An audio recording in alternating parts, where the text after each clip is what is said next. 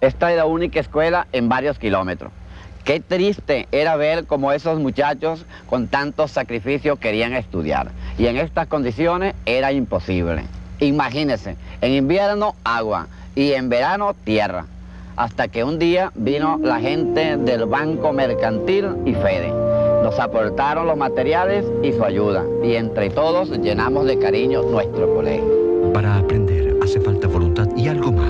Por eso Fede y el Banco Mercantil realizan su programa Ponle cariño a tu colegio. Más de 100.000 alumnos se han beneficiado en todo el país.